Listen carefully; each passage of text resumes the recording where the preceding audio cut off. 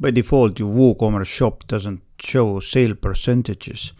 If the product is on sale, it just shows a badge with sale on it. But what if you could, instead of this sale badge, show the discount percentage like this?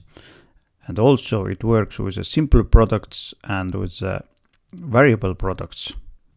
And if you open it, it will also work on a single product page.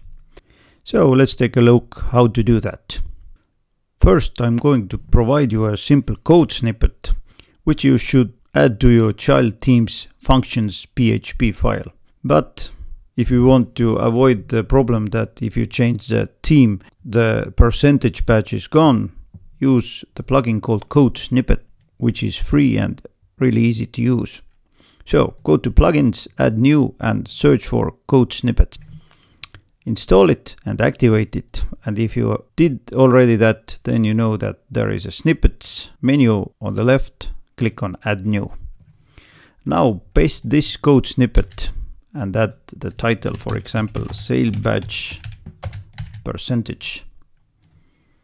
Now choose only run on site front end. Save changes and activate.